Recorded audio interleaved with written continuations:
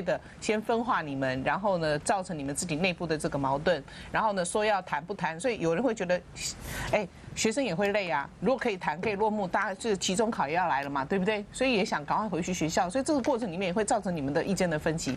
你们感受到什么部分是马英九总统的步步进逼？好，对啊刚刚讲吼，总统跟今晚要给你换啦，好，要给你独裁。等一下我们再回来，好不好？来，先休息一下，进广告。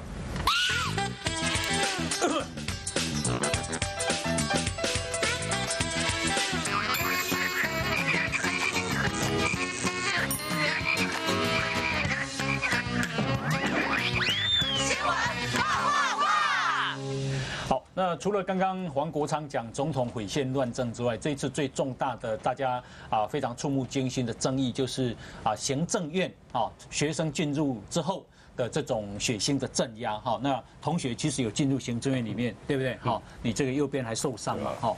好，那啊有一支啊影片是一个牙医师哈王新凯王医师，他也是被政报警察打趴。倒地，而且抽搐，引起国人的震惊。好，我们来看这段影片。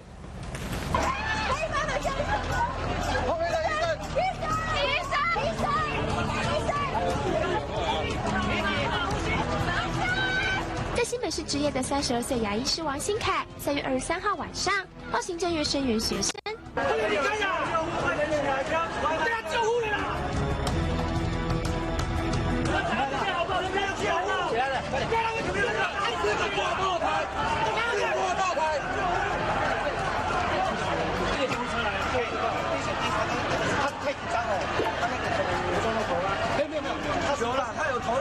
我有看到了，他头有被打到了。他倒在这边，你不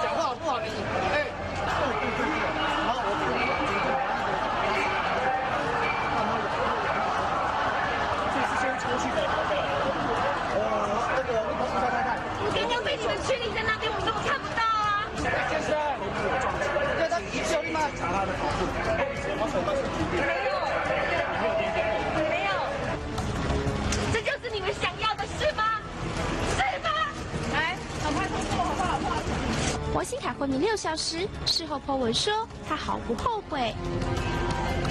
我刚开始睡睡，然后刚刚是刚刚就被警察打伤，然后现在要进医院。他没有所谓的后悔。呃，没有，这件事情改变了我们对于很多事情的看法。王新凯妻子控诉说，良知永远高于法治，否则当执法人员已经没有意义了。因为你当天也在现场嘛，哈，那这个王医师到底是被打还是自己太紧张？那个很明显啊，哎就是已经那那个是公示能够就能够抛抛出的画面真的不简单。我说我们所有在现场的呃同业啊，或者是呃助理啊、民意代表，多数都没有拍到。我们都是拍到了前段，可是进到了棍子或怎么样的时候，后段就没有拍到了。那当然他是已经是抽蓄到那么严重啦，那抽蓄。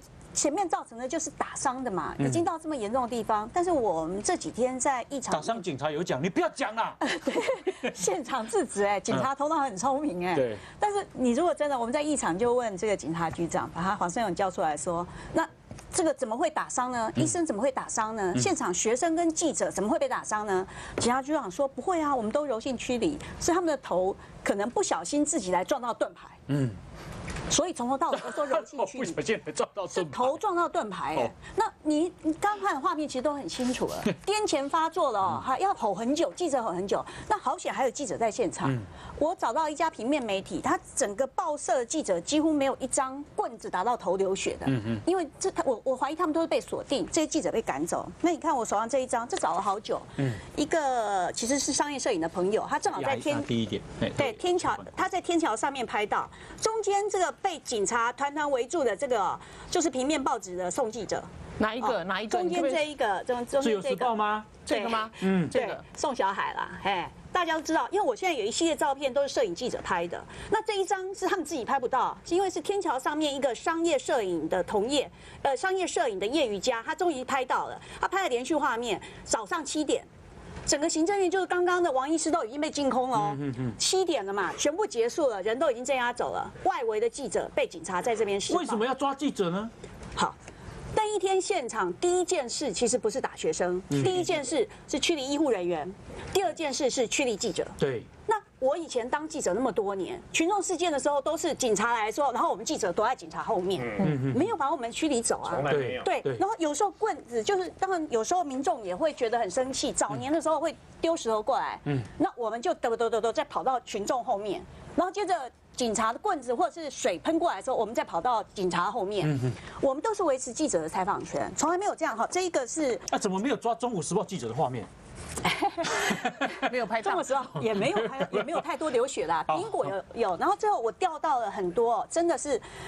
大家说可以得普利兹新闻奖的照片，那些照片都是来自国际的，嗯例如美国的几个记者。那但是当时他们跟我说，他们是被无法授权照片给我们用。那这个就是很明显，现场一群记者，可是警察先驱赶记者，在驱赶的那一刹那，哦，记者先被打走了，哦，驱赶的那一刹那，所以警察在推记者，对，所有的画面，我到最后还有一个呃，有有一个朋友的影带，他是这样，一群学生躺着，警察要赶的时候，右边还剩一个记者在拍，嗯。接着所有的盾牌就把这个记者先扑倒，扑倒了之后，哎，后面画面就不太压制，嗯，对，先压记者。好，那当然还有这一个这个这个照片也是经典，都天都已经是早上了，早上了，你看，哦，对。太阳出来了，好，已经都其实现场已经差不多了，水继续喷记者。那你知道所有摄影，你知道水喷的时候，他们就会顾他们的镜头。对对，一一转过来的时候，后面就开始打。那打头其实只是三十秒的事，所以到最后只有少数，就是你能看到的媒体，其实打到头的是外国的记者。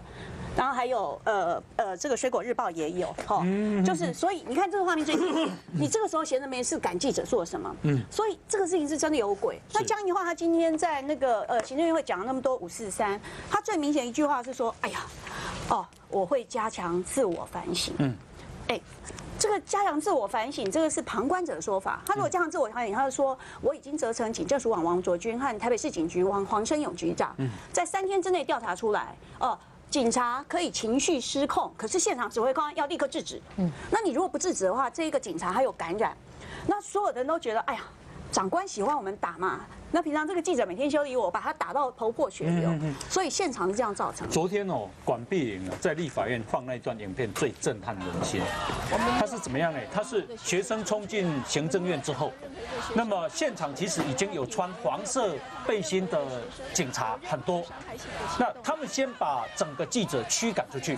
好，那些学生一直喊着说，呃，这个媒体留着，媒体留着，但是警察依然一直把他们赶出去。好，用整体的力量把他们赶出去。赶出去之后，接下来竟然进来的是，他们不是警察把记者赶出去，这些警察来抬这些学生哦，他们是这些警察把这个穿黄背心的警警察把记者赶出去之后，然后接下来特勤的政报部队进来。这个政报部队不是拿木棍的哦，这个部政报部队是拿钢制剪棍的哦，戴着黑色的头盔哦，穿黄缎背心哦，脚穿长靴，黑色长靴哦，进来，就管碧玲说，接下来就开始打了。我问大家，请就请问这个瑞德，你是跑警政啊？没错，为什么第一个警察要先赶记者？对第二个是那些警察穿黄色背心的警察本来就可以抬离学生，对为什么要震爆警察因？为很简单，为什么这次会说成是镇压，不是强制驱离嘛？哦，那么过去这是台湾群众运动，我从五二零开始跑群众运动，每一场都参加过，在台北市的啊，从来没有先驱赶记者，你知道为什么吗？对，因为过去警察是记者的朋友，警察他们要跟记者之间彼此相互相的运用，尤其是在很多的这个所谓的绩效的部分嘛，啊，所以通常跟于院讲的没有错，记者不是站在群众的后面，就是站在警察的后面啊。那从来没有在第一时间之内就把就把记者先驱赶。其实他驱赶记者的时候，你们都没有注意到，他现场指挥官有喊一句话，叫做一视同仁，你知道吗？他的理由是一视同仁啊，就是说行政院是不可以入侵的嘛，所以媒体也要出去。他以这个做理由做借口啊。那刚刚红英讲到那个，我告诉告告诉你，现场指挥官有说保一的把警察请出去，你那个刚刚红英问的那个哦，事实上哦，政报总共区分成三种哦。你刚刚讲的那个头戴警盔，对不对？头盔，然后呢，事实上那叫甩棍呐，啊，钢制的甩棍呐，甩出来然后那个打到身体非常痛的啊。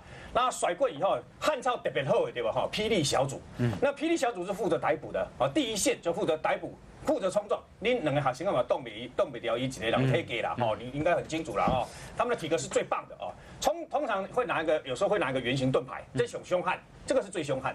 然后再来的话呢，就是我们说的刚刚讲齐眉棍的那个政报部队，有的时候会拿硬塑胶的警棍，黑鸡要削了有无哈？你跑赶快见血啊，一样。就是这次不是第一时间驱赶的时候，在北平东路的时候，有一个冲出来，看到人就打，有没有？还有个学生我印象深刻，他拿举起双手，和平和平，就把他这样削下去嘛啊，那拼命打枪，那有俩红赶快的哦。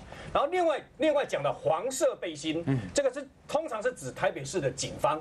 啊，台北市的警方，因为他处理群众运动的经验比较丰富，所以通常他不会第一时间就冲采取这种暴力的手段，他比较不会，所以他会比较柔性就对了。那么刚刚红衣讲到一个重点，我跑我跑那么多场，其实我讲坦白的，从以前到现在，这个不是警察政报部队打的最凶的一次，也不是见血最少的一次。可问题是现在是民国一百零三年呢，嗯，民国一百零三年呢，前一场这么凶悍在哪里？在陈云林那一次，嗯你知道吗？陈云林那一次在这个这个中山桥的时候，也是拉出来画掉狼的削，地价不也看啪个乱七八糟。可问题是这是民国一百零三年，你政报部队冲出来，事实上我告诉各位。